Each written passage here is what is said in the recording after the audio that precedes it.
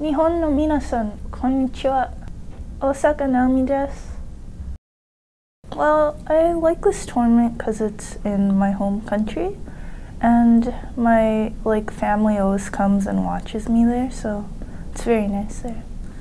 Yeah, I do. Um, it's it's really nice to see like people carrying the Japanese flag and coming to watch me play. So, uh, well, I think I first played there when I was like 15, and then I played every year from then. So, um, I have a lot of memories there, and I really like the whole venue. So uh, it's sort of like a second home, but not really type thing.